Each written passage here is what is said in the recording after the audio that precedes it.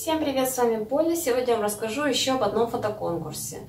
Он будет проходить до 16 сентября 2022 года.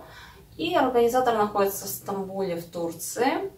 Называется конкурс 212 фотографии Истанбул. Вот, ссылочка на конкурс будет в описании. И если тема конкурсов вам интересна, не забудьте подписаться на этот канал.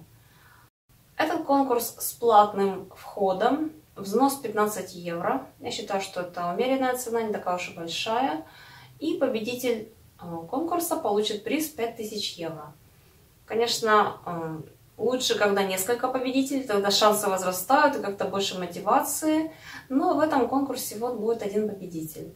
Для того, чтобы поучаствовать, нужно прислать от 5 до 10 фотографий. Фотографии должны быть в формате JPEG или PNG. Жестких критерий по тематике здесь нет. То есть вы можете присылать, я так поняла, что любые ваши фотографии, но на сайте конкурса вы обязательно уточните полные условия конкурса. И если хотите, то поучаствуйте. До сентября у вас еще время есть.